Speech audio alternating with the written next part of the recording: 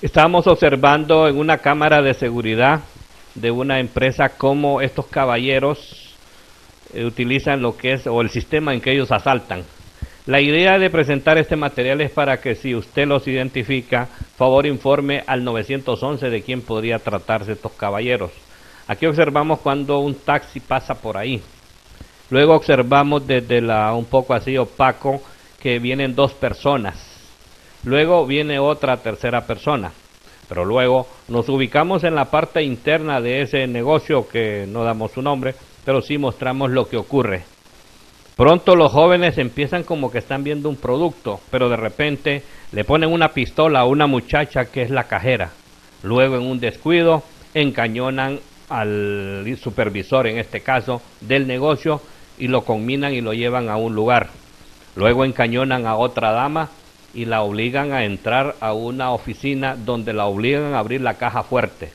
Vemos el momento en que la joven encañonada empieza a entregarles el dinero y ellos ya van listos con bolsas, etcétera, donde cargan la fuerte suma de dinero de la venta que se había realizado en este día.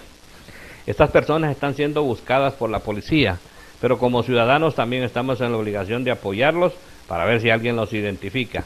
Las imágenes captan el momento en que ellos entran, el momento en que ellos encañonan a las personas, el momento en que hasta golpean a alguien en la cabeza con una pistola. Observamos cuando entran a la, oficina donde está la caja fuerte y empiezan, o mejor dicho, obligan a la dama a abrir la caja y empiezan a sacar el dinero. También observamos cuando le roban el teléfono celular a la muchacha, no le bastó el dinero, sino que también se robaban lo que es el celular. Antes de partir del negocio se detienen en una de las góndolas y donde toman algunas botellas de whisky, algunos churros, algunas cosas que les servirán de boca, me imagino que para ir a celebrar. Pero habría que ayudarles también a ellos en la celebración.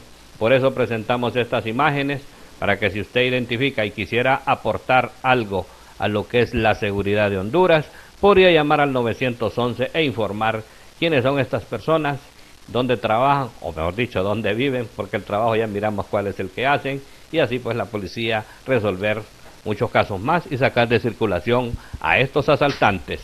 Desde la capital, Jorge Juan, Noti 6.